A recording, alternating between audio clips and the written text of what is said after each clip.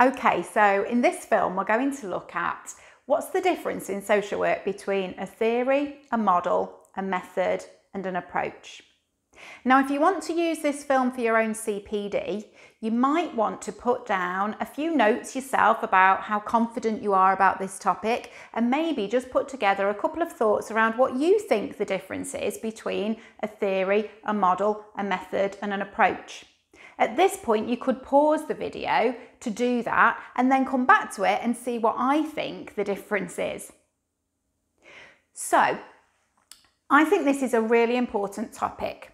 Some people would say to you, it doesn't really matter if something's a theory or a model, but I think it does matter because what it is impacts on how we use it in practice. So I have a particular way for myself to think through what's the difference between a theory, a model, a method, and an approach. And that's what I'm going to take you through now. So, in the world of science, a theory is said to do four things. A theory is said to help us to describe what's happening, explain why it's happening, predict what will happen next, and then intervene in a situation to bring about change. Now, in many ways, that actually reflects what we do as social workers. Think about it. When we first meet somebody, we're trying to work through with them to describe what's happening for them. We're looking together with that person at why this situation has come about. We also try to think about predictions. What do we think might happen in this situation, especially when there's an element of risk that we might need to consider? Then together with the person we should look at what can we do if necessary to work together to bring about change in the situation. So in many ways as a framework this is often used to say that actually that's what a theory does and in many ways that's what a social worker does so we're using theory all of the time whether or not we're conscious of that. Now, on that first point, I would definitely agree. I think as social workers, we're using theory all of the time, but very often we're not really conscious about that. We're maybe not making conscious thoughts around the theory that we're using, but we are using theory. However, I do think that in social work, a theory doesn't do all four of those things. Of course, social work draws on science, but it also draws on arts and humanities. It's very multidisciplinary. So, in many ways, whilst we draw on that, it doesn't really work for us in social work in terms of what a theory does. So, in social work, in fact, a theory only does the first three of those things. A theory helps us to describe what's happening, explain why it's happening, and predict what will happen next. It doesn't, though, help us to intervene and bring about change. It does inform our intervention, but it doesn't say, here's what to do and how to do it. Now, sometimes I get the opportunity, I'm really privileged to get the opportunity to work with large groups of students, and I try and help them to work through this what's the difference between a theory and a model. And I'll say to a group of students, for example, tell me about attachment, what's attachment? And they'll say really confidently, oh, that's a theory, Siobhan.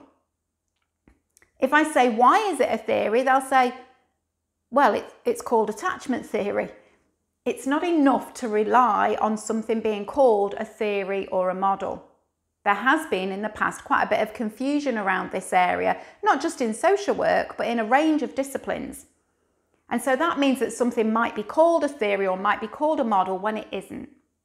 Actually, if you want to work through this, just take attachment as an example. Attachment helps us to describe a person's behaviours. It helps us to explain where those behaviours come from. It helps us to predict the likely impact of those behaviours on future relationships. It might inform our intervention plan, but it doesn't provide us with an intervention plan. So it's a theory. In social work, a theory helps us to describe, explain, and predict, but to do that, intervene and bring about change, we need a model. So, something like task centered practice has been around for a long time now. Task centered practice is a model, it's very clearly a model of intervention. Task centered practice doesn't in any way help you when you're going to see a person to describe what's happening for them, to explain why it's happening, or to predict what might happen next. But it says, look, here's a really good way to work with people to bring about change. So, task centered practice is a model. So, just to clarify that, then, a theory helps us to understand a situation, whilst a model helps us to intervene. That hasn't always been effectively clarified in the past. So, some writers have talked about models to understand and models to intervene, and some writers have talked about theory to understand and theory to intervene. If I'm honest in my own writing, I don't think I'm always clear about that when I look back at what I've written. I think the clearest way for us is to recognise that theories help us to understand a situation and models help us to intervene. What about a method though? I think there can be a lot of confusion in social work between a model and a method. They are connected, but they are different things. So, a method is a specific tool or technique that we might use in our practice. It comes from a model. All methods, I think, pretty much come from a model. But just because you're using that particular method, it doesn't mean you've used the whole model. But of course, as a student, particularly, it would be really helpful for you to know where that method comes from. Sometimes I go out and I do an observation of a student's practice and I'll see them do something really good and I'll say, That was great. Where did that come from? And they'll say, mm, I don't know. I saw somebody else do it or my friend told me about it. Whereas actually, what I really want a student to be able to say to me is, Well, of course, that method comes from this particular model of practice. So try and work at that if you can do. As an example, I've put up here GEMS questions is a questioning method which is drawn out of brief solution focused therapy. If you're not familiar with that, don't worry, we'll do other films that go through different models and methods. But just as an example, GEMS is a way of asking questions, and the G stands for goal setting questions, the E is exception finding questions, the M, miracle questions, and the S, scaling questions. And of course, most social workers use one or two of those types of questions in any intervention with, with service users. Most of us use those questions. That's a particular method drawn out of brief solution focused therapy. It doesn't mean, though, that as a social worker we're using that therapy, but it means we're drawing out of that model to use particular methods. So, what about an approach? I asked about four things a theory, a model, a method, and an approach. And I started off by talking about the difference between a theory and a model, and we're concluding this almost with an approach. But actually, in practice, we would generally start off with thinking about our approach. Our approach is our overall way of working. How do we go about something? How do we approach something? The approach that we take actually impacts on everything else that we do. So the approach we take will impact on the theory we choose to use to understand something or the model that we use to intervene. Some examples of contemporary approaches might be a strengths based approach, which focuses in on looking at people's strengths rather than deficits. Or we might use a relationship based approach, which is all about the importance of relationships in social work. So we've kind of talked through what's a theory, what's a model, what's a method, what's an approach. But now I want us to connect all of that together. How do those things connect and interrelate? And to help us to explore that, I'm going to use an analogy. I want us to think about theory as if it was the food of social work practice, because in many ways it is. Theory is what gives us the essential nutrients of our practice. It reflects the diversity of what we do. So think about what's your favourite kind of food? Maybe that indicates the approach that you take to practice. Nobody has exactly the same meal for breakfast, lunch, and tea every day. None of us do. And if friends were coming round for dinner or if we were going out to eat somewhere, we might use a, or prefer a different kind of food.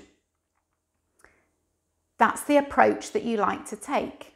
I know if I had a friend coming round for tea, I might choose to cook something different than I would if I was eating on my own or just with my family. And that's what we do when we're working with people. We think about what's their taste, what's to their taste, what kind of approach do I need to take with this particular person. So you could think about it as your approach is your favourite kind of food, but sometimes you adapt that kind of food depending on who you're eating with.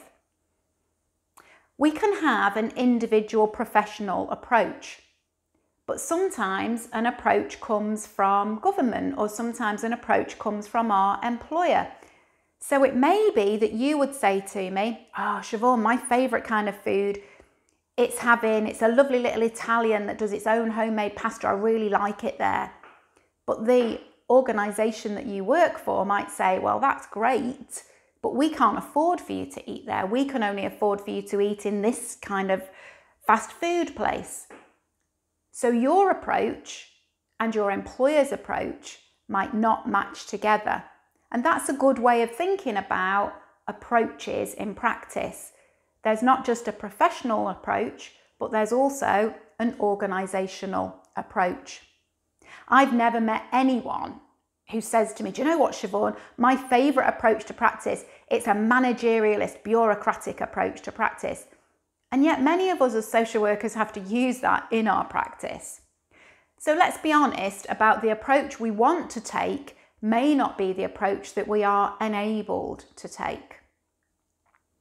But now let's look at how all of this connects together. So, using that food analogy, I want you to think about a model in social work as if it was a curry.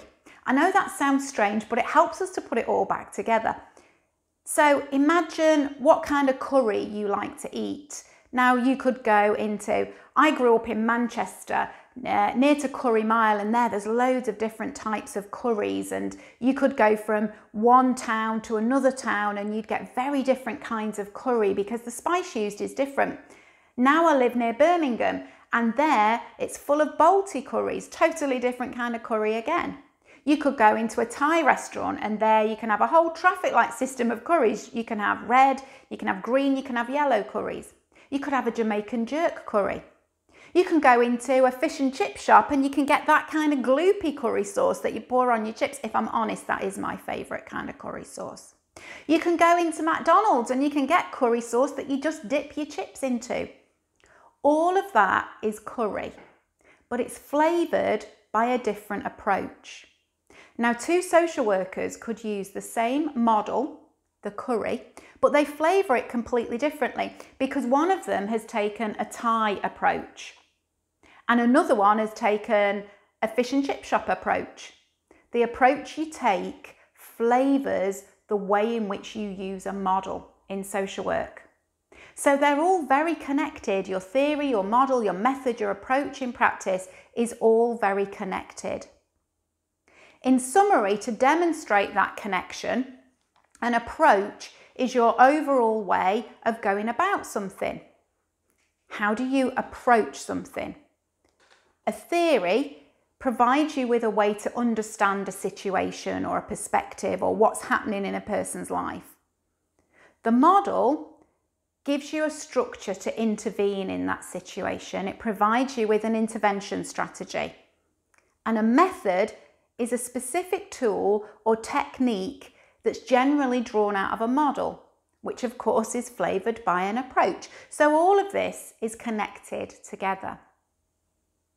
Some students find it helpful to think about the head, heart, hands framework that comes out of social pedagogy, and this can provide a really good way of us thinking about the difference between a theory, a model, a method, and an approach. So, the head, heart, and hands of a practitioner. The head can represent the theory because that's how we understand what's going on. It's the knowledge that we draw on in our practice. The heart is effectively the beating heart of the practitioner. What makes us tick in practice? So that would represent our overall approach to practice as a social worker. The hands represent the model because that's about the skills and what you're doing in practice and how you go about something.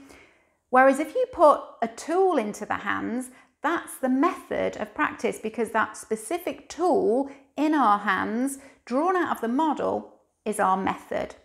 So the tool in the hands can represent the method that we use in social work. So I hope that this film has helped you to start to think about the difference in social work between a theory, a model, a method, and an approach. There'll be lots of other films coming up that go through different examples of those. But to provide this basic framework, this starting framework, I think is really important for us as social workers and as students. So I hope that you've enjoyed the film and I hope that you'll watch more as I develop more and put more onto the channel. Please though, if you want to find out more, follow me on Twitter or on Facebook. Thanks very much for your time.